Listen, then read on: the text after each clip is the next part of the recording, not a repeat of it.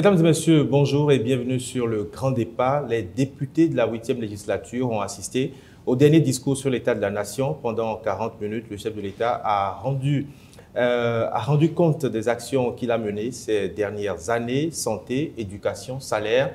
Il n'y avait pas de promesses, mais plutôt des résultats. En plateau avec moi, quatre invités pour revenir sur ce discours, mais également sur certains faits qui ont marqué l'année 2022. D'abord, Joël Godonou, il représente sur ce plateau le parti Les Démocrates. Joël Godonou, je le rappelle, est également candidat dans la 16e circonscription électorale. Joël Godonou, bonjour. Bonjour.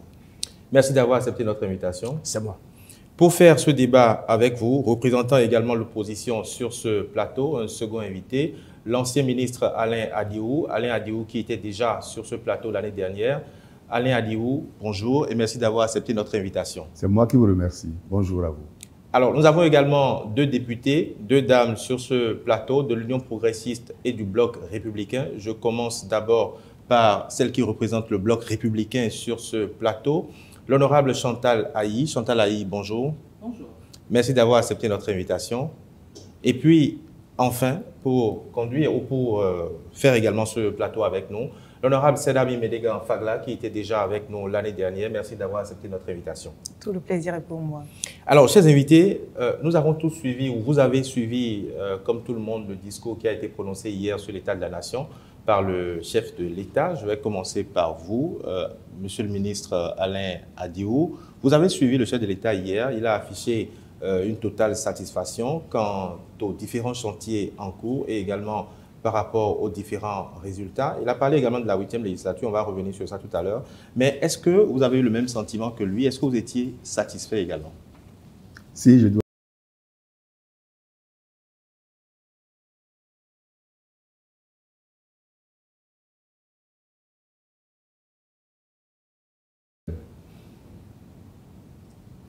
Pourquoi est-ce que vous ne partagez pas euh, tout ce que le chef de l'État a dit avec lui à 100% parce que le cliché du moment, si on faisait une euh, image sur la situation du Béninois ordinaire, on ne dirait pas exactement ce que le chef de l'État a dit.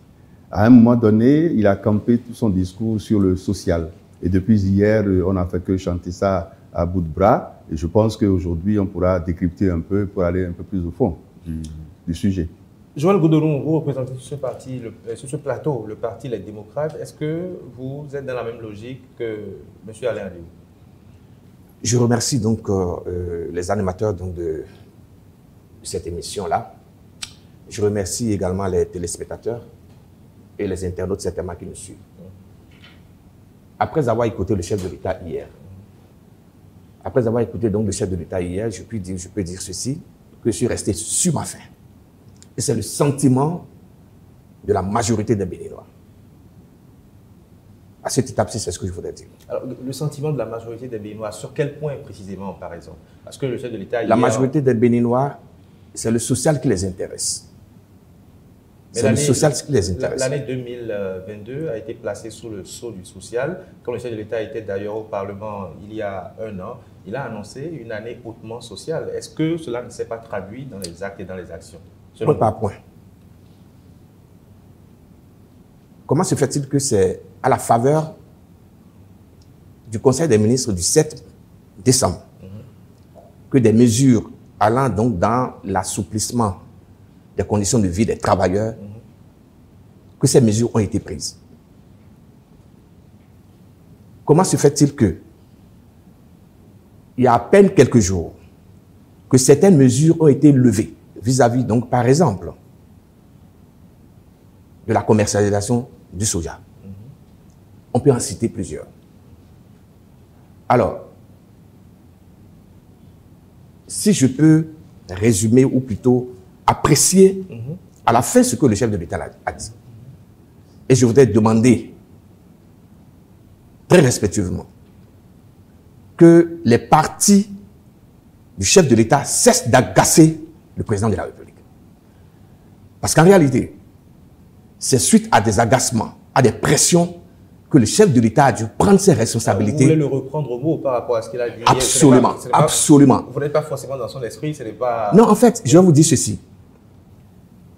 Le chef de l'État a été élu il est le père de la nation. au lieu d'écouter des partis politiques à lui, c'est le peuple.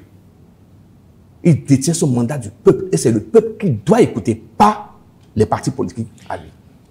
Alors, donc quand il dit que c'est les ministres qui sont dans son gouvernement, qui sont BR et UP, donc quand vous n'êtes pas ministre, il ne vous écoutera pas. Donc je crois que c'est les travailleurs, le peuple, qu'il faut écouter. Donc voilà moi mon sentiment à cette étape. Je vais permettre euh, aux députés qui sont sur ce plateau et qui étaient à l'hémicycle hier de d'apporter une réponse à, la préoccupation que vous avez évoquée tantôt. Pourquoi est-ce qu'hier, selon vous, qu'est-ce qui se passe dans les coulisses des différents partis qui soutiennent aujourd'hui le chef de l'État? Pourquoi est-ce que, selon vous, hier, le chef de l'État disait que des partis, enfin, que ses partisans l'agaçaient, le BR et l'UP Surtout les députés, ils vous parlaient directement. Euh, d'abord, honorable Salah Faga, comment l'avez-vous agacé?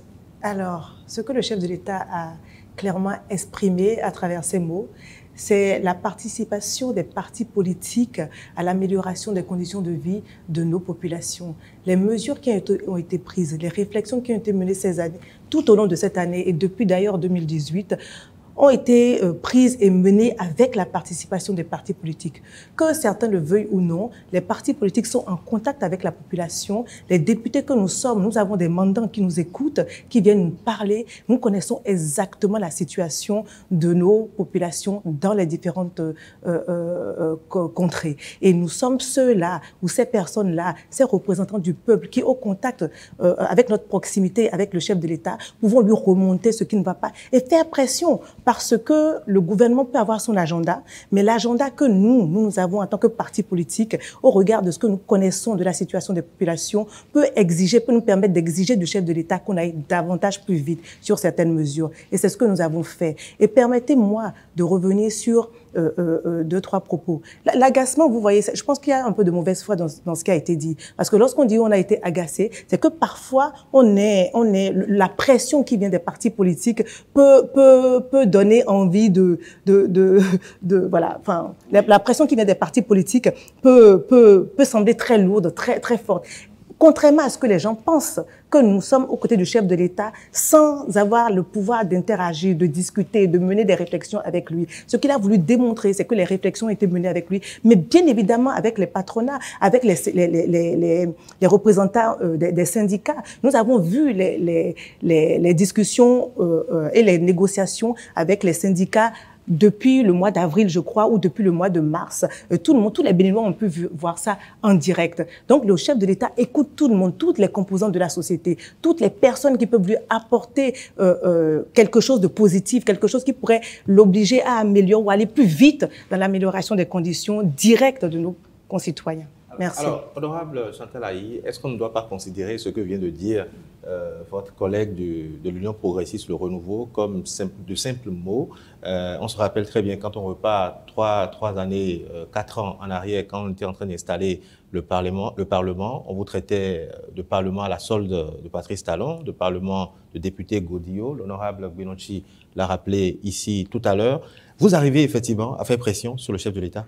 Euh, je ne sais pas dire euh, ici, je ne sais pas dire ici que le, chef de l'État, en parlant hier d'agacement, euh, qu'il faille prendre ce mot-là au premier degré. J'ai l'impression qu'il y a amalgame. J'ai l'impression qu'il y a amalgame. Nous sommes des, députés de la mouvance présidentielle et quoi de plus normal? Quoi de plus normal que de, discuter, d'interagir, d'orienter et euh, d'accompagner euh, les actions justement euh, de ce gouvernement. Donc nous assumons complètement le soutien aux, décisions et aux, actions du, du, gouvernement à travers les différentes réformes. Et nous n'en oublions pas, nous n'en oublions pas en tant que représentation nationale de jouer le rôle qui est le nôtre. Quel est-il ce rôle? Peut-être qu'il est nécessaire de le rappeler qu'il est nécessaire de le rappeler, nous légiférons et nous contrôlons surtout l'action euh, du gouvernement. Euh, et, dans la représentation euh, des intérêts des, des, populations, il est extrêmement important, il est extrêmement important de savoir choisir son couloir. Le nôtre, c'est celui des populations qui, dans un ensemble, nous sommes 12 millions et quelques au Bénin. Euh, on ne sait pas euh, que, comme ça les, lancer sur le chemin euh, d'une discussion ou d'une influence ou d'une interaction avec le, avec le gouvernement. C'est pour cela que nous sommes, nous sommes la représentation nationale. J'ai entendu également parler de triomphalisme. il n'en était pas question. C'était un bilan. C'était un bilan. La huitième législature est pratiquement à sa, en fin de mandat et il était, il était important au regard de la moisson, au, regard de la moisson et de la production euh, euh, de, ce Parlement-là, que le chef de l'État, que le, que le gouvernement euh, fasse un bilan. Et ce bilan était était retourné, était tourné essentiellement vers le, le, le, le, courage, la bravoure, la témérité et même la perspicacité de, de, ceux, de, ceux de la huitième législature et des députés qui la, qui la constituent. C'est vrai, euh, traiter euh, les députés de, de, de, de, tous les noms, de tous les noms d'oiseaux, oui, bah, chacun est dans son rôle. Il plaira à un citoyen béninois euh, de fragiliser euh, une institution de la République dont il se réclame citoyen. Ça, c'est un choix. C'est un choix. Euh, nous, nous sommes la représentation nationale et nous entendons assumer. Nous entendons assumer. C'est ce que nous avons fait sur tout le mandat et nous continuerons encore de le faire parce que tant que les populations sont, l'intérêt des populations est en jeu, pas de repos pour les citoyens, députés ou non. On va revenir sur l'intérêt des populations tout à l'heure avec vous, Joël Godonon. Mais avant, M. Alain Alihou, l'honorable Aïe parlait tout à l'heure des prérogatives de l'Assemblée, voter les lois et contrôler l'action gouvernementale. Est-ce que sur ce chantier, parce qu'elle l'a rappelé tout à l'heure, est-ce que sur ce chantier, euh, cette législature a été vraiment active?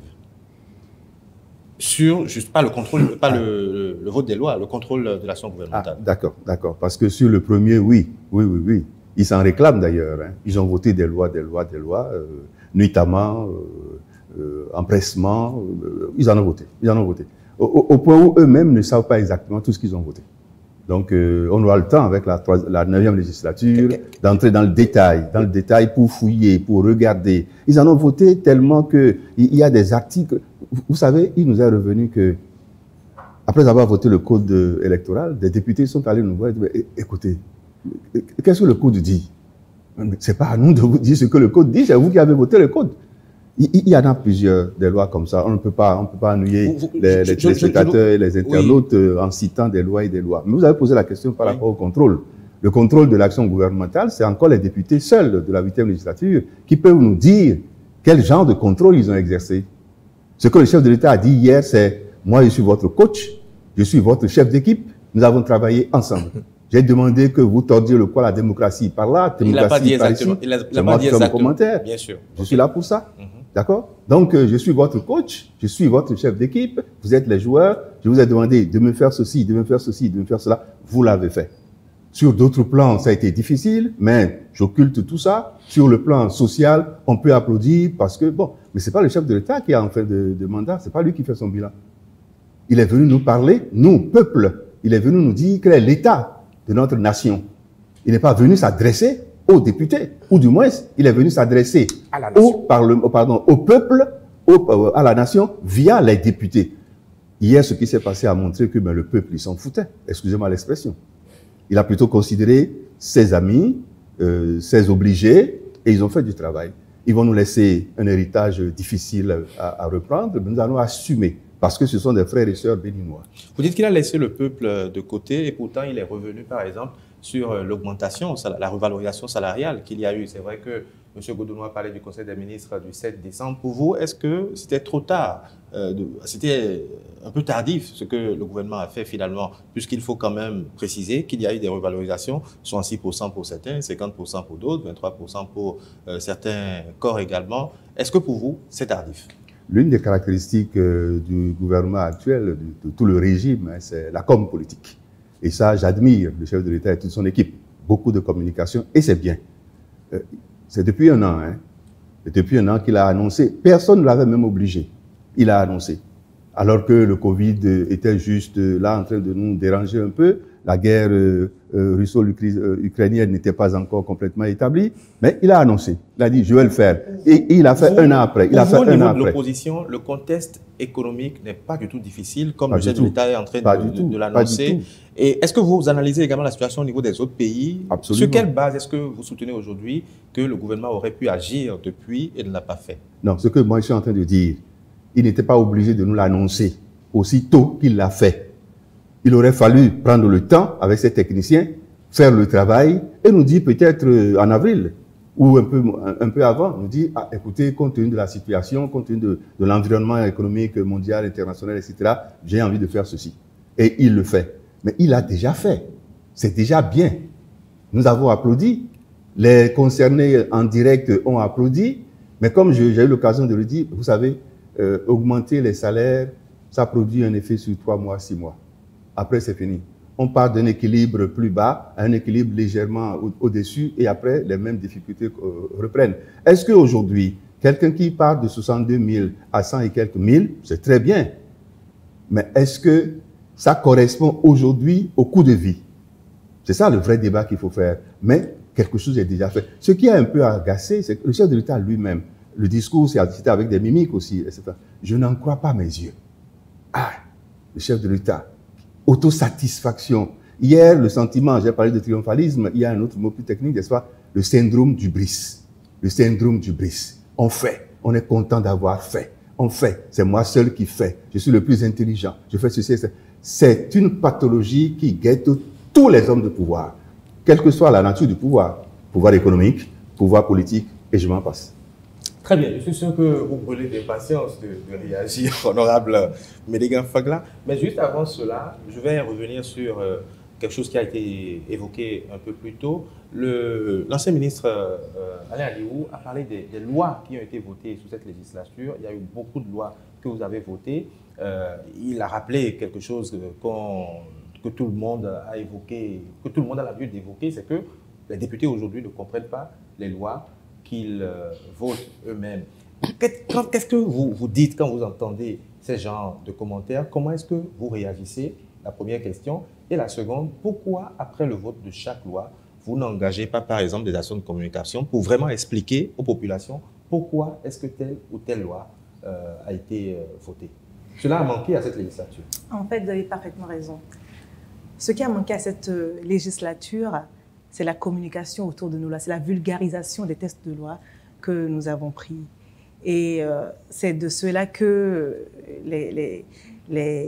nos, concitoyens qui sont de l'opposition euh, euh, font leur... c'est sur ça qu'ils font leur, leur, leur image et leur, leur communication. Et prétendent que nous votons des lois notamment, que nous ne comprenons pas nous-mêmes. En fait, il y a des, y a des, y a des des niveaux de réflexion qui ne méritent pas qu'on réponde. Très sincèrement, on ne peut pas répondre à tout. Lorsque le niveau est ramené aussi bas, lorsque vous, si vous-même vous engagez dans ça, vous rentrez dans les caniveaux, ce n'est absolument pas nécessaire. Ce qui est certain, c'est que la huitième législature a fait ce que eux, pendant des années, des décennies, ils n'ont pas été capables de faire pour ce pays. On dit que le chef de l'État a, a, fait euh, euh, preuve de triomphalisme, mais dis donc, avant Jack Kento et pas.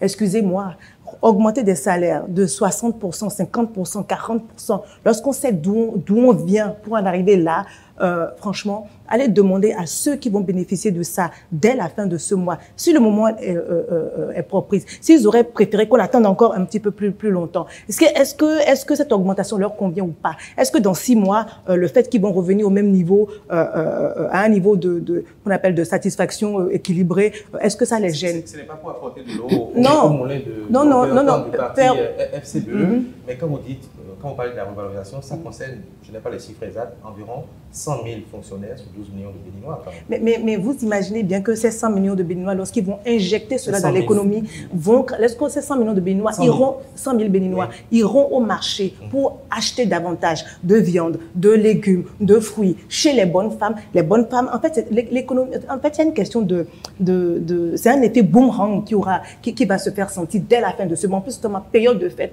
La période de fête pousse à consommer davantage. D'accord? Euh, euh, Deuxième chose, que nous, votons des tests que nous ne comprenons pas qui nous, et que nous allons leur demander à eux de nous expliquer ce test-là, qui nous donne un exemple concret. Parce que ce qui se passe, c'est qu'effectivement, lorsqu'on finit de voter les tests, nous avons des juges, nous avons la Cour constitutionnelle qui est là pour dire comment est-ce qu'il veut que le test soit interprété lorsque parfois, les, entre les concitoyens et les votants, la compréhension n'est pas exactement la même.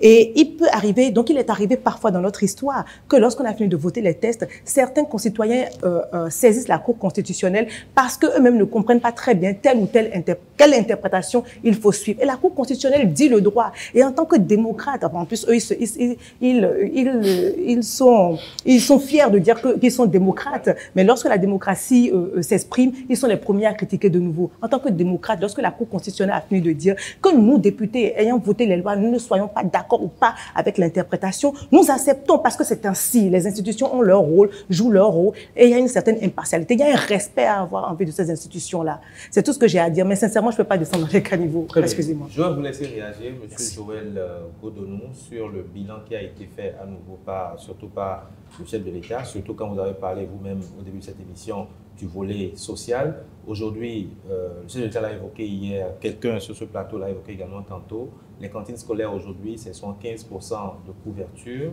euh, au niveau national. À partir de l'année prochaine, je crois sur trois ans, c'est un mois exact, euh, les députés pourront me corriger ici, il y aura des bourses aujourd'hui euh, pour, nos, apprenantes. Il y aura même des transferts monétaires. J'espère qu'on va nous expliquer mieux cela dans les mois à venir. Pour vous, tout ça ne compte pas. Monsieur Mitopé, je voudrais, nous sommes tous responsables ici, que des propos comme Canez-vous, comme tout ce que j'ai entendu tout à l'heure de l'honorable Médigan Fala, s'il vous plaît. que ça, non, non, non, je le dis, je le dis parce que nous avons aussi la possibilité de nous prononcer comme ça. Mais nous sommes devant ne, le pas, répondez directement à ma D'accord. Merci beaucoup. Alors, euh, regardez le timing. Hier, les propos du chef de l'État à la nation. Avant-hier, le 7, comment dirais-je, le Conseil des ministres. Hier, on est exactement à un mois des élections législatives. Nos amis sont en perte de vitesse et ils savent que dans la population, ça va payer cher. Et là, on a fait les couloirs, on a fait la pression, on a même agacé le chef de l'État. Ah mais tiens, si vous faites ça, on n'aura pas de député. Donc, faites sortir ça, même si quelques mois après, même si quelques mois après, on peut revenir sur certaines décisions. Conséquemment, c'est ça le chef de l'État a dit. J'ai été même cassé. Parce que de là, son plan. Mais comme il se fait que d'ici un mois, les gens iront aux élections, et ils ont peur de perdre la majorité, alors il fallait donc tout faire pour que le chef, laissez-moi laissez aller au secours. je vous laisse. Euh, Merci. Que le chef puisse venir à leur secours. Mais ce qu'ils oublient, c'est que le peuple n'est pas dupe. Depuis plus d'un an, que des mesures ont été annoncées mais il se fait que c'est à un mois des élections que ces mesures, mhm. Disons, de façon très extraordinaire, de façon totalement inattendue, arrivent. Et plusieurs députés l'ont annoncé d'abord dans les fiefs. Aux enseignants, ah mais dis donc, il y aura ceci, ah mais dis donc, il y aura cela. Alors, la question que je me pose, le budget général de l'État a été voté avant la prise, avant le Conseil des ministres. Mais le paquet de mesures qui a été annoncé là. Mais est-ce que c'est dans le budget général de l'État? Je, n'en sais rien. Parce qu'en réalité, ce n'est qu'après ça que dans les études, les techniciens doivent se pencher sur toutes ces mesures-là et les intégrer dans le budget. À moins qu'on dise qu'il y a quelque chose là où on n'a rien mis et on met dedans. Mais je voudrais dire ceci. C'est à l'œuvre qu'on connaît l'artisan. L'augmentation des salaires entre 12% et 66%, ça va se sentir à la fin de ce mois. Ça peut se faire parce que les élections, c'est oui janvier. Mais après les élections. Pourquoi vous voulez forcément lier cette revalorisation aux élections quand on sait quand même que la mesure, et vous-même vous l'avez rappelé, le ministre Alain Monsieur le journaliste, le timing. Ça, a été rappelé, ça a été annoncé depuis pratiquement. Mais le timing, pendant la pré-campagne, la plupart, la plupart des députés sortants là ont, axé leur, comment dire, leur propagande autour de ça. Quand ils ont rencontré les enseignants, les aspirants, attendez, ceci, cela. ça n'a pas manqué. Ça n'a pas manqué. Permettez-moi de continuer. On parle de la population, des populations. On parle de la sécurité de vie. Imaginez, Quand les ministres, les députés, les maires étaient sortis la dernière fois, mais écoutez, c'est quand même extraordinaire. Ils ont pris l'argent du peuple pour prendre du carburant dans les voitures que l'argent du peuple a acheté pour aller expliquer aux populations comment ils ont rendu la vie chère aux populations. Mais c'est extraordinaire. C'est quand même violent. Moi, je crois quand même qu'il euh, euh, va falloir que le chef de l'État écoute beaucoup plus le peuple que ses courtisans. Parce qu'en réalité, c'est autour de leurs intérêts. Mais ce qui vient Tout ce qui se dit ici. Est-ce que ce qui vient d'être fait aujourd'hui ne montre pas que le chef de l'État est à l'écoute du peuple? Mais je dis le timing. Pourquoi pas, pourquoi pas, pourquoi pas, pourquoi pas il y a, il y a, il y a, quelques mois Moi, je voudrais juste vous rafraîchir la mémoire au vu de ce que nous voyons tous sur les réseaux sociaux. N'oubliez pas qu'il y a, mettons, il y a quelques jours ou deux semaines, mettons deux semaines, deux ou trois semaines avant euh, cette euh, mesure qui vient d'être prise, il y avait beaucoup de commentaires sur les réseaux sociaux et euh, les gens demandaient, ou les internautes demandaient où est passée finalement la revalorisation annoncée depuis un an. Finalement, est-ce que le chef d'État n'a pas apporté une réponse positive Monsieur Mitokwe, Monsieur Mitokwe, il n'y a pas que trois semaines, depuis plus d'un an, que les gens en parlent. Mais je dis, le timing est bien, est bien calculé. Mes, mes, dire, mes courtisans vont aux élections. Ils n'ont rien à vendre sur le terrain. Et vous allez voir la campagne, ça va être axé autour de ça. Mais nous avons on a des choses à dire Hein, pour pouvoir donc détruire totalement ces arguments. J'ai annoncé ça euh, au début de l'émission, santé, éducation, même les efforts qui ont été faits dans le cadre de la lutte contre le, euh, le terrorisme, les infrastructures qui ont été réalisées depuis pratiquement 5 euh, ans, 6 ans, mettons 7 ans, l'énergie pour tous, le taux d'inflation aujourd'hui maîtrisé au niveau de l'espace UMOA, les performances économiques du Bénin. Vous pensez, M. Alain Adirou, que le BR, l'Union progressiste, le Renouveau, les autres partis qui soutiennent également le chef de l'État n'ont rien aujourd'hui à proposer, vendre aux populations, à soumettre aux populations pour leur campagne? Non, non, non, je ne pense pas. Ils ont des choses à soumettre.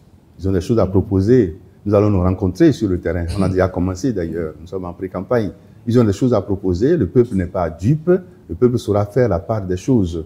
Je, je souligne simplement que c'est le chef de l'État qui a été élu. Il s'est donné deux bras armés pour travailler avec lui. Les bras commencent à, perdre de l'énergie. Le, peuple va, décider du choix qu'il va faire. Donc euh, non, je ne suis pas personnellement très très dérangé. Et d'ailleurs, euh, j'ai préféré que le discours ait eu lieu euh, hier, le 8, plutôt que entre le 23 et le 29 entre le 23 et le 29, ça aurait davantage dérangé. Donc le timing me dérange un peu moins que mon ami les, démocrates. Mm-hmm. Et nous aurons le temps d'aller sur le terrain et de, de dégonfler euh, ce qui aurait pu déjà être mis en place par le discours du chef de l'État. Très bien. L'autre euh, volet abordé également dans ce discours, et on va en parler très rapidement avant de, finir cette émission et d'évoquer quelques faits euh, qui ont marqué l'année, c'est la reconnaissance que le chef de l'État a affirmé ou a affiché vis-à-vis de la huitième législature. Il a rappelé que cette législature était pratiquement un tournant politique pour notre pays. Comment est-ce que vous vous êtes senti quand vous avez entendu ces mots au regard des critiques qui tout le temps euh, ont été formulées contre votre législature. Je vais commencer par Laura Fagla et je reviens à vous. Très bien. Alors déjà, je vous allez me permettre de revenir en arrière un petit peu pour dire que lorsqu'on a eu l'habitude de soutenir des gouvernements qui euh, se levaient le matin, faisaient des annonces, qui n'ont pas eu le temps de planifier, d'organiser, dont ils n'avaient même pas les moyens de la mise en œuvre, on peut comprendre que nos camarades de l'opposition ne comprennent pas qu'il a fallu du temps pour trouver, pour savoir où est-ce qu'on va, d'où est-ce qu'on va dégager les ressources de façon pérenne, année après année. Parce qu'il ne s'agit pas de se lever le matin de dire, euh, oui, euh, euh, les cantines scolaires gratuites, oui, l'école gratuite pour les filles, on a, on a vu ça, hein. et que après, les moyens pour doter les écoles, de, pour pouvoir, pour, pour que les écoles puissent tenir ces mesures-là, ne soient pas disponibles. Est-ce que vous êtes d'accord qu'il y a un peu plus de méthode Non, j'ai pas fini, j'ai pas fini. la méthode du Bénin, c'est à moi que vous avez posé la question. vous me laissez aller, non, vous me laissez aller jusqu'au bout. La, la méthode du la méthode, la méthode, la méthode du Bénin a été saluée.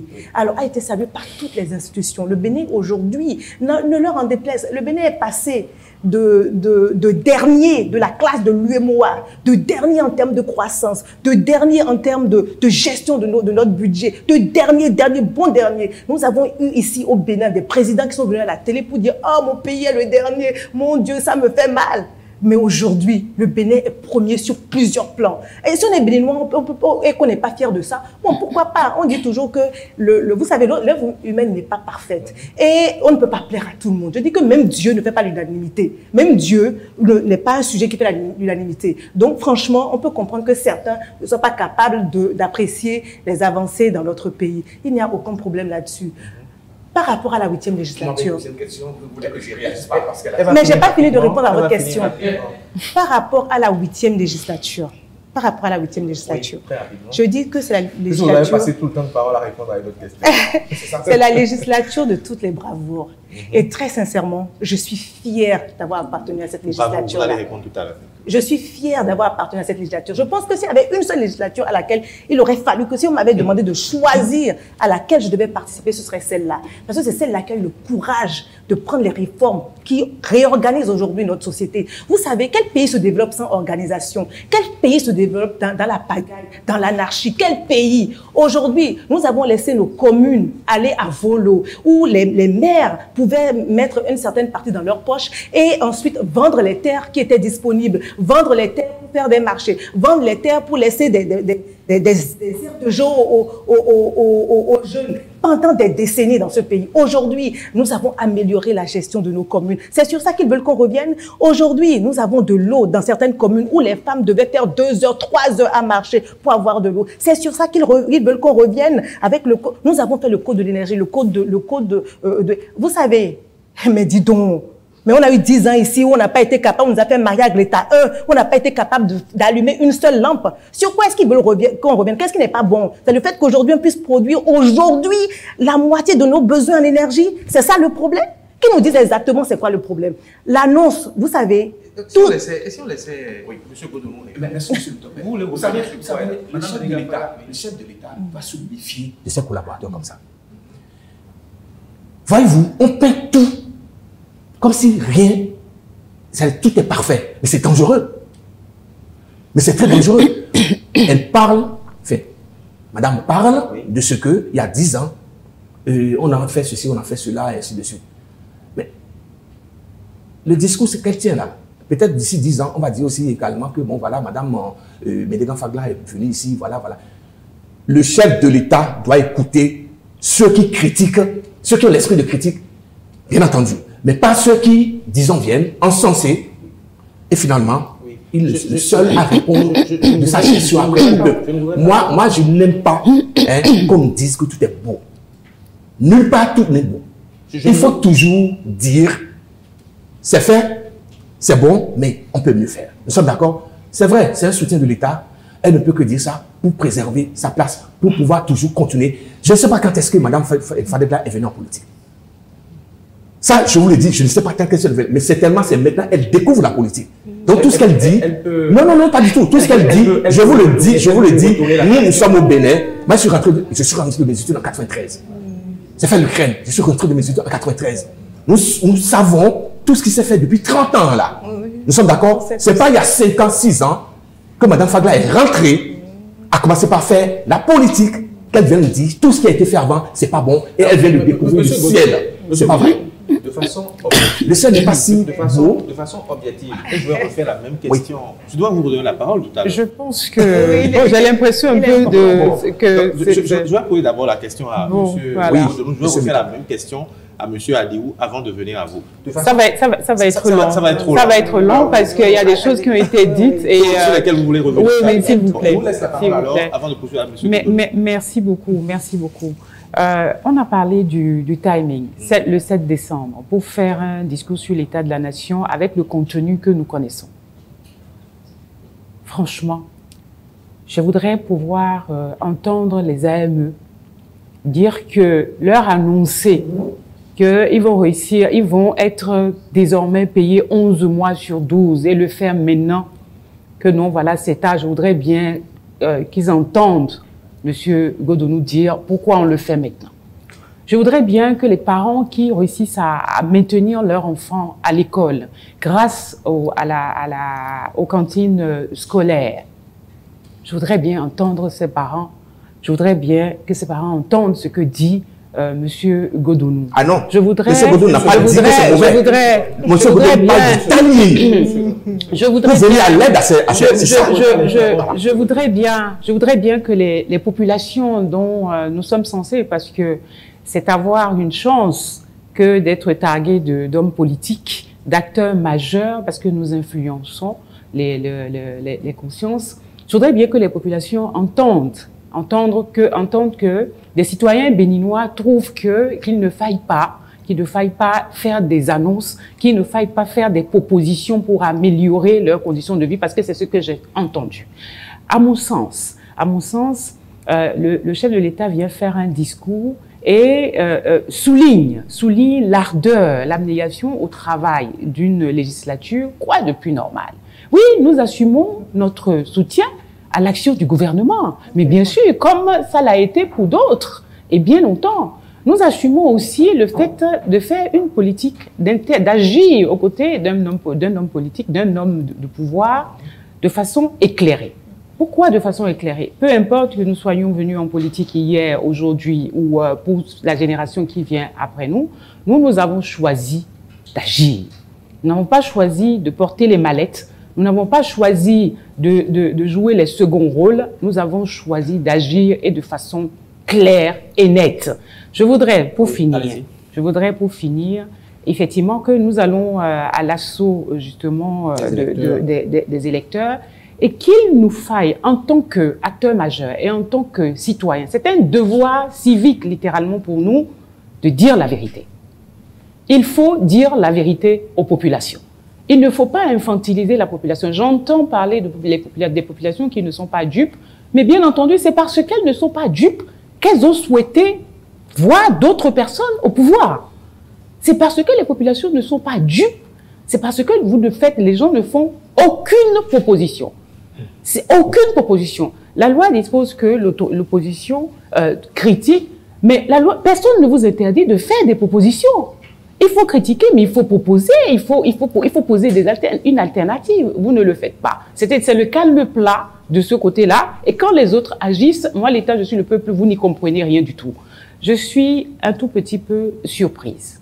Je suis un peu surprise, euh, euh, attristée, hautement que euh, des camarades euh, béninois, des, euh, de, de surcroît euh, des acteurs euh, politiques, disent-ils, euh, trouvent ici que la huitième euh, législature, euh, que, que, que cette législature euh, n'ait pas joué le rôle qui est le sien. Nous avons joué pleinement le rôle qui est le nôtre. Et quel est-il ce rôle-là? C'est être aux côtés des populations au moment où vous avez déserté.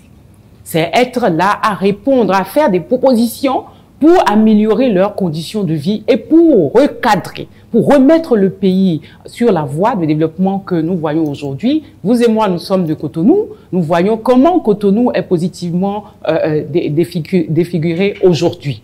C'est pour cela que nous sommes là. C'est ce que cette législature a fait. C'est pour cela que nous assumons notre soutien à l'action du gouvernement. Ça se traduit clairement par ça. C'est un engagement militant, le nôtre.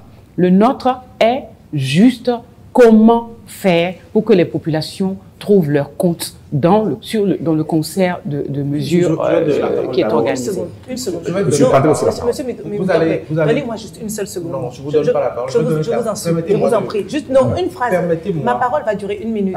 Je voudrais dire que euh, c'est la première législature qui octroie, qui consent à l'État béninois pas accepter. un budget euh, euh, de euh, 3 euh, 000 Monsieur le journaliste, on ne peut milliards. pas accepter qu'on vienne dire que c'est une première lé- législature. Les gens, les gens sont des camps. On n'est pas né en 2016. Ah hein. bon, 3 000 milliards de, de, de S'il vous plaît, dollars permettez aux autres vous aussi de parler. Permettez aux consenti autres ça aussi de parler. Est-ce Vous n'êtes pas 3 là, 000 vous n'êtes pas là, milliards vous n'êtes pas là pour nous faire l'apologie ou plutôt pour nous dire que votre chez vous c'est bon. Et C'est les autres. et- et Donc permettez aux autres aussi de parler, s'il vous plaît. dire que ce n'est pas bon, Non, c'est ça on n'a Mais jamais dit ça. per- per- On n'a jamais dit. La huitième législature, la gestion n'est pas. Permettez, permettez aux journalistes de continuer. S'il vous plaît. Merci beaucoup. modérateur, C'est- le modérateur ça. Merci. à vous pour demander la parole. Vous n'êtes pas dans votre rôle. Vous avez compris Je ne vous permets Madame pas. Fagla, mais nous, personne ne va s'emporter sur Tout ce à plateau. C'est pas vous qui avez la parole, s'il vous plaît. C'est vous qui avez la police Vous des êtes débats. qui- Vous êtes qui Vous êtes qui pour, dire qui a, qui a la parole Madame de Vedega débat Fagla. Vous êtes qui pour dire qui est le modérateur? C'est vous le modérateur? C'est vous qui êtes assis personne dans son siège? Ne vous prenez, pas moi. hein. vous, vous, mais Une vous en prenez à moi, monsieur. Dirais, c'est pas moi, hein. Vous, n'avez rien à faire, ça. n'a rien à Une faire. seconde. Mais vous voyez, ça, c'est ça, c'est ça. C'est ça l'opposition. Madame C'est Fagla, on va c'est ça le évoluer.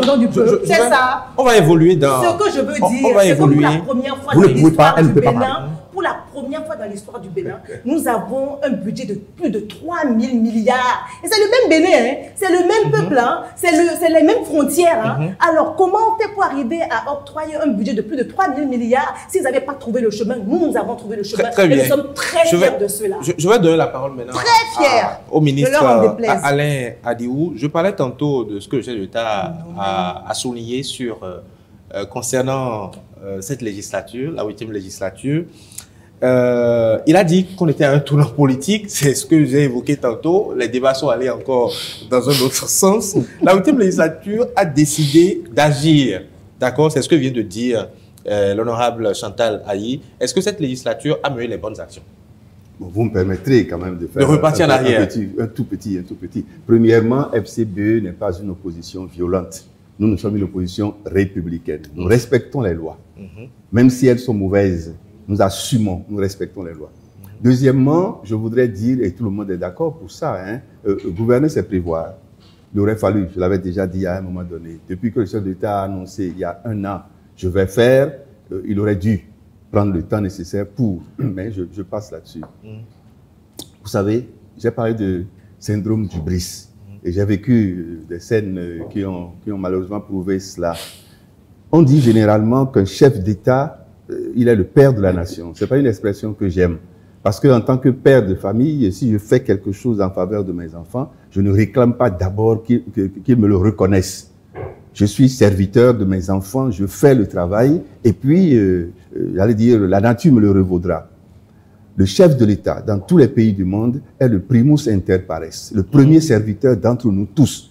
Il n'a pas à s'auto-applaudir, il n'a pas à s'auto-encenser. Si la population est satisfaite, eh bien, la population l'encensera, ou l'encensera avec les bras qui lui ont permis de faire le, le travail là. Mais les amis du BR et de, de, de l'UP, ils assument. L'UPR. Pardon, non, c'est de l'UP, le renouveau. Et- et c'est bien ça, non? C'est c'est ça. voilà, l'UP, le renouveau et le BR. Ils, assument, le chef de l'État a dit, vous avez fait ce travail-là avec moi. Vous êtes même imposé à moi. Alors, mais c'est clair, il y a le passif et il y a l'actif. Donc, ils vont assumer. Nous allons dénoncer le passif, agir, minorer l'actif si cela était nécessaire pour euh, permettre au chef de l'État de ne plus travailler seulement avec un seul camp. Aujourd'hui, Monsieur Adiou, qu'est-ce que FCBE, par exemple, qu'est-ce que votre parti dénonce aujourd'hui? Euh, Quand on prend, par exemple, tout ce que le chef de l'État a évoqué hier, qu'est-ce que vous dénoncez? La toute première chose, ouais, on a fait l'amalgame entre le discours du chef de l'État et le satisfait qu'il a adressé au, au Parlement. Et c'est ça qui a fait que nous avons glissé un tout petit peu. Euh, Le travail du chef de l'État, il avait l'obligation de nous rendre compte de cela et de, de- de jeter les perspectives. Il a fait moins de perspectives que de, dire la situation. C'est son rôle, il était dans son rôle. Mais le, le reste, c'était un peu de trop. Mais j'ai compris. Quand euh, les amis ont dit, et même depuis hier, quand j'ai compris, moi je me suis souvenu de quelque chose. Hein. Quand nous quittions le gouvernement avec le général Mathieu Kérékou, notre dernier conseil, c'était un conseil de, de, de, de distribution de lauriers. Vous avez fait ceci, ceci, ceci avec moi, vous êtes le meilleur gouvernement, vous êtes...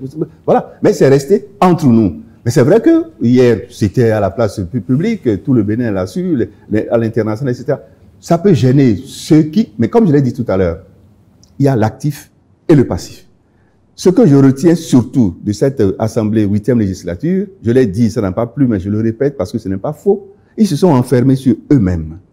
Ils ont travaillé presque en catimini. Ils se sont enfermés sur eux-mêmes. Ils ont voté des lois nocturnes, des lois précipitamment, etc., etc. Nous, si nous arrivons, nous allons remettre le peuple dans ses droits.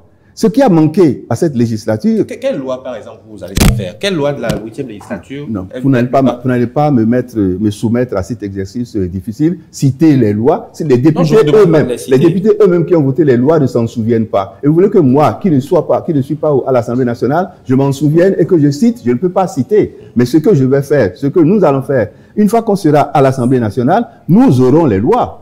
Nous serons en situation. Quand euh, j'ai entendu sur le plateau ici que euh, nous, sommes tués, nous n'avons pas fait. Mais non, c'est parce qu'en 2019, on nous a empêchés de. Le, certificat de, conformité, c'est l'opposition qui l'a inventé. Les fautes mineures, fautes majeures, c'est le- gouverné par la ruse et la rage, c'est nous qui l'avons inventé. Mais tout ça a été inventé pour que le chef de l'État ait les bras armés qu'il voulait. Je ne peux pas le condamner. Il a fait un choix. Je veux faire quelque chose. J'ai besoin de gens qui me soutiennent, qu'on appelle Godillot ou pas. Moi, c'est pas mon, mon, mon affaire. Qu'on dise que euh, ce sont des députés nommés ou pas. C'est pas mon, là, là mon propos. Mais je dis, il avait besoin de gens qui lui soient fidèles, qui ne le dérangent pas. Pendant la septième législature, il y avait des députés qui le dérangeaient. Mais les choses se sont passées de telle façon que ceux-là se sont retrouvés à l'extérieur, ils sont partis. Et ceux qui pouvaient être dociles étaient là. Très dossier. Et ils ont travaillé Monsieur avec Joël- lui et pour le peuple peut-être. Monsieur Joël Godenou, quelle loi de la huitième législature, selon vous, quelle loi est-il La loi sur l'embauche. C'est une loi qui a totalement sacrifié la jeunesse. Sur quel plan? Bien. On vous dit, vous êtes jeune, vos parents ont investi sur vous, vous obtenez votre diplôme, vous allez sur le marché de l'emploi, on vous embauche, même si vous faites 5 ans, 6 ans. D'ailleurs, c'est souvent des contrats à durée déterminée. Quel que soit le nombre d'années que vous auriez à faire, si votre tête ne plaît pas à l'em- à- à- à l'employeur, il peut vous dire le matin ou bien le soir, C'est ce que dit la loi. Enfin, de toutes les manières, l'interprétation, attention, j'en viens, j'en viens. Monsieur pour nos Je ne peux- loi peut Je n'ai pas voté cette loi, je vous fais l'interprétation de cette loi. Oui, De toutes les manières, c'est que si vous commettez une faute, justement. nous sommes d'accord, mais la faute, et, et- et on sait ce qu'on peut mettre dans la faute, hein. Nous sommes d'accord On vous licencie, on vous paie les trois au plus neuf mois. Vous savez et- les conséquences de ça?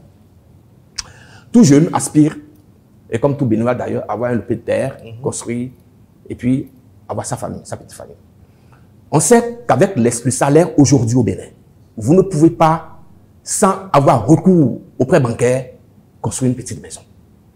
Mais quand votre employeur sait que vous êtes sous la menace, enfin, disons, vous ne pouvez pas payer, et que la banque sait que vous ne pouvez pas donc honorer, comment dirais-je, certains engagements, la banque ne vous prêtera pas de l'argent pour que vous puissiez donc construire peut-être un petit lopin ou de terre, machin, tout ça.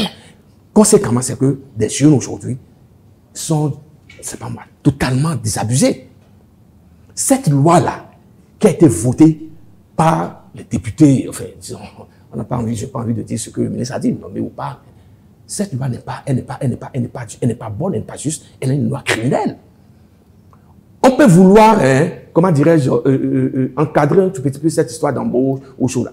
Mais aller jusqu'à dire que l'employeur peut limoger ou, ou sous n'importe Vous pouvez laisser les deux députés répondre rapidement Tout à- Il n'y a pas de souci. Mélégan Fagla La loi sur l'embauche. Alors, la loi sur l'embauche, vous savez, j'ai la chance d'être euh, enseignante à l'université, d'être avec les jeunes euh, qui, euh, dans très peu de temps, vont se retrouver sur le marché du travail et commencer à chercher leur premier emploi.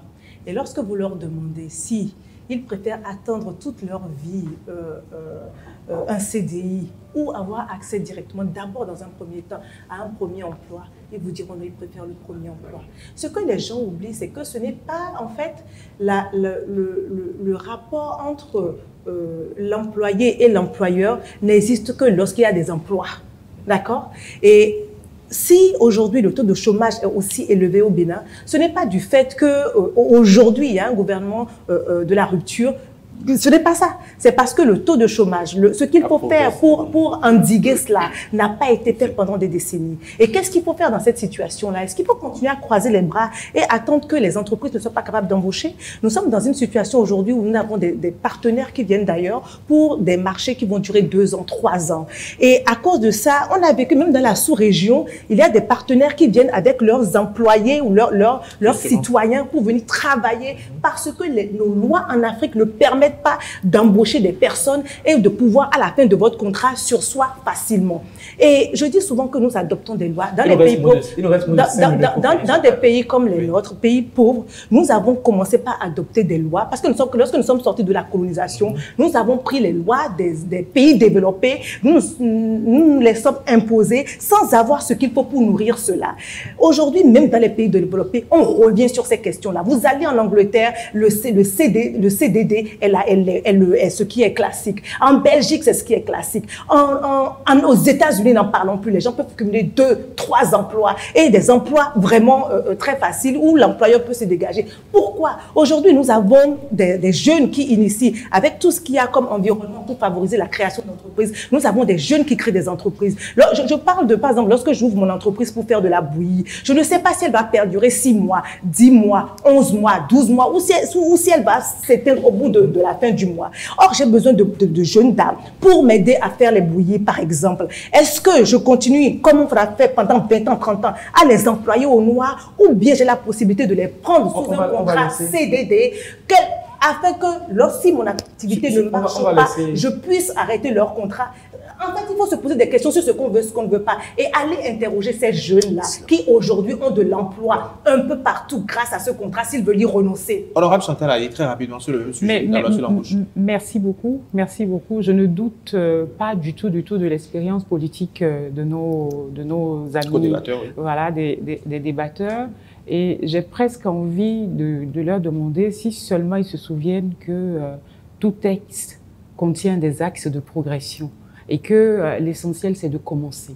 L'essentiel, c'est de commencer. Il fallait mettre de l'ordre, justement, euh, dans le milieu de, de, l'emploi.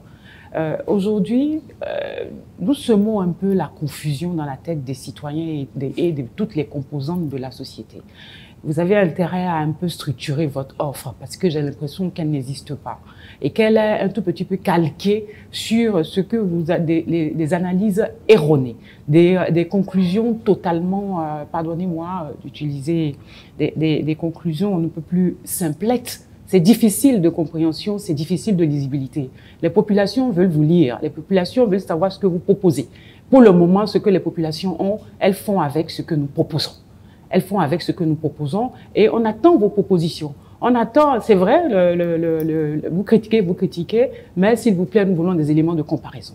Parce que ceux que nous avons là, par exemple, qui permettent, qui permettent de, pouvoir se projeter. Donc, quand je, je, fais, je tape une, je fais une petite incursion dans le passé, alors là, s'il vous plaît, le Bénin a beaucoup évolué. Nous ne sommes plus en 96, ni en 2001. Là, nous sommes en 2022, des santé.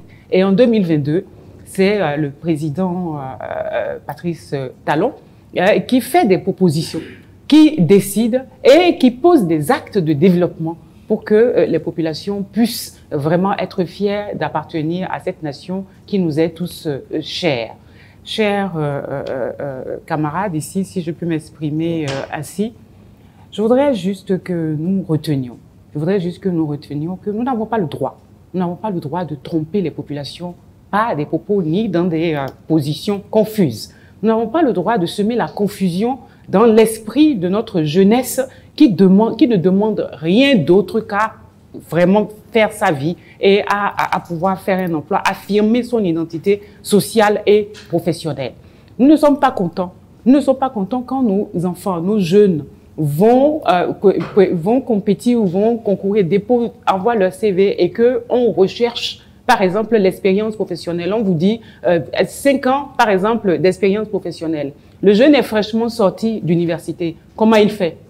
Comment il fait? Donc, nous n'avons rien proposé euh, qui soit inédit ici. Non, pas du tout. Tout ce qui est proposé s'accorde correctement avec les besoins et les attentes de nos populations. Et c'est pour cela que nous sommes là. C'est même pour cela que nous acceptons de participer à ce genre de débat. Structurez, vos, structurez votre offre parce que c'est ça que les Béninois attendent. Alors nous sommes pratiquement à la fin de cette euh, émission. Il y a beaucoup de sujets qu'on n'a pas abordés. Par exemple, la sécurité. Le terrorisme est revenu euh, au cours euh, de ce discours qui a été tenu hier par le chef de l'État. Mais euh, on va conclure ce panel par, je vais vous redonner la parole à chacun, une minute rapidement. Et vous allez nous dire très rapidement, c'est vrai que vous vous inscrivez dans la logique de ce qui est en train de se faire au niveau du gouvernement, Mais on va écouter l'opposition, les démocrates, puis les, FCBE. Santé au hasard, santé, énergie, emploi. Qu'est-ce que vous allez proposer dans quelques semaines à vos électeurs? Est-ce que vous avez déjà un programme? Concernant ces trois pans, ces trois piliers? Si oui, donnez-nous une ou deux mesures. Mais bien sûr. Nous, avons, nous, avons un projet de, nous avons un projet de législature. permettez, votre projet de législature? Non, permettez-nous permettez de ne pas l'exposer ici. Si je commence, je ne peux pas aller jusqu'au bout. Une ou deux mesures Pour l'emploi, pour l'emploi par, exemple, cette loi de l'embauche-là va être reprise totalement et réaménagée. Dans ce que vous allez proposer, il y aura quoi, par exemple? Si, on va faire quoi? Dans ce que vous allez proposer, il y aura quoi, par exemple? Ben, euh, euh, Bien évidemment, il y aura des, emplois, comment dirais-je, euh, pas précaires, hein, mais des emplois définitifs. Et c'est possible. C'est possible. Où est-ce que vous avez trouvé l'argent aujourd'hui pour payer autant de salariés, de fonctionnaires, si on recrute encore? Mais quand je dis emploi définitif, ce n'est pas forcément l'État qui recrute, ce n'est pas seulement l'État qui emploie. Il y a également les sociétés, il y a les entreprises. Il y a cette, euh, comment appelle nation industrielle qui a été créée, c'est pour les Béninois, nous sommes d'accord. Mais là, là, on peut quand même essayer quand même de, de démultiplier cette, et, et certain nombre de choses.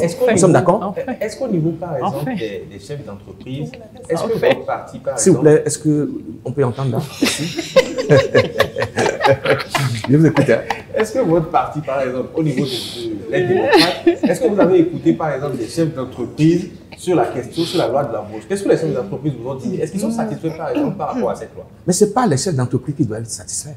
Mais c'est ceux qui emploient que nous écoutons. Quand j'apprends ici que les gens, les jeunes sont d'accord, on n'a qu'à me donner un seul exemple. Nous, nous, nous ne sommes pas au Parlement, nous ne sommes pas dans des grosses voitures et on regarde les gens, on salue. Nous sommes dans le peuple. Nous sommes dans le peuple. Je vous dis ceci, je vous dis ceci, monsieur Mitopé. Qui ne sait pas que la vie est chère au Bénin? Mais quand les gens prennent les voitures pour aller expliquer aux populations comment ils ont rendu la vie chère, mais ça c'est une insulte. C'est ce que je vous dis. Mais après ça, mais vous savez, mais arrêtez, la parole. Mais arrêtez. C'est la parole. Monsieur Godonou, Monsieur Godonou, vous aspirez, vous aspirez à représenter la population. Vous, vous aspirez à représenter le peuple. Arrêtez d'amalgamer.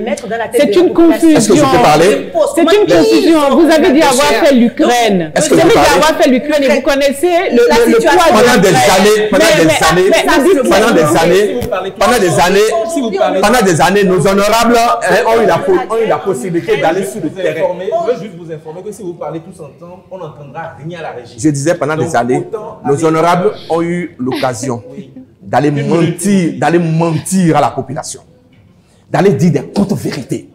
Et elles s'en offusquent, s'en offusquent aujourd'hui que nous prenions la parole, que nous allons vers la population pour dire la vérité? Très bien. Et cette vérité va être dite lors de nos descendre sur le terrain. Ça, c'est clair. Qu'est-ce que vous allez dire sur le terrain? Vous avez des propositions concernant euh, différents, enfin, différents secteurs et tout, la santé, l'emploi, la sécurité? Qu'est-ce que vous allez proposer de nouveau? Oui, oui, oui, Nous avons élaboré depuis euh, presque deux mois, nous avons élaboré notre programme de législature. Et les gens ont commencé à, à, à le recevoir. La plaquette a commencé à être distribuée. Vous savez, dans le pays actuellement, euh, le diagnostic, il est connu. Le diagnostic, depuis des années, c'est connu.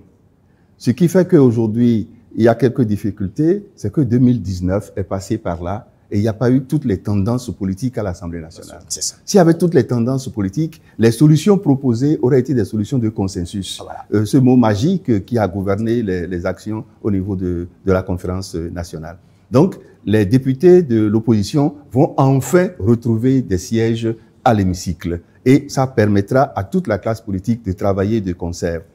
Ce que nous, nous allons proposer, euh, euh par de, de, grandes insuffisances que j'avais déjà dénoncées, euh, quand on veut prendre des lois, il faut par exemple faire une étude d'impact. L'étude d'impact des lois permettait parce que quand, ça se faisait, permettait d'approcher un peu ce qui peut se passer lorsque la loi sous tel article, tel article va être votée et promulguée et, et mise en application. Donc, nous avons proposé dans notre programme de législature toute une nouvelle méthode qui fait que le peuple est mis au centre. Et c'est d'ailleurs ce qui fait que le titre de notre programme de législature, c'est FCBE, un Parlement pour le peuple, pour le peuple. J'espère qu'au cours de la campagne électorale, on aura l'occasion de revenir euh, sur cette plaquette et de voir ce que vous proposez exactement, Exactement. aux populations pour comprendre, puisque ça intéresse. On ne va pas écouter que les députés et les soutiens du pouvoir. Vous allez conclure, vous allez conclure également. Une minute. Merci beaucoup. Euh, nous sommes euh, sur euh, ce, nous sommes venus à, à- à ce débat pour décrypter, euh, pour parler de- du, du discours, Discours du sur l'État. euh, le- de- de- sur l'état de la nation. Euh, dans, ce, dans ce discours, il a été question euh, de santé, il a été question de sécurité, Mhm. il a été euh, question d'économie et il a, il a été surtout question de social. Euh, nous comprenons, nous avons compris clairement que le chef de l'État place l'homme au cœur de, de, de, de ses actions et que euh, a mis un temps pour développer donc les infrastructures pour vraiment poser euh, euh, euh, l'attelage et que là il est arrivé l'heure où il faut penser à l'homme à, l'homme béninois le citoyen béninois qui est heureux au travail qui est fier d'être d'être béninois. Et c'est à c'est à saluer. Dans le discours, il y a un point, il y a un point sur lequel il nous faut, nous tous ici, en tant qu'acteurs euh, politiques, faire très attention. C'est pour cela, justement, que je, voudrais saluer euh, les, propos du ministre Adiou, qui sont, euh, bien que de l'opposition, qui sont très responsables parce que, comme je l'ai dit tout à l'heure, quand on parle, quand l'expérience est là, on l'entend. Je voudrais que nous évitions de faire l'amalgame. Ce n'est pas les, soutiens du chef de l'État, euh, des Béninois qui peuvent poser des grenades dans la main d'un autre Béninois pour en faire aujourd'hui euh, un mancho. Il faut que nous fassions attention. Il faut que nous puissions faire euh, attention sur l'engagement qui est le nôtre, parce que les populations ont besoin de nous lire.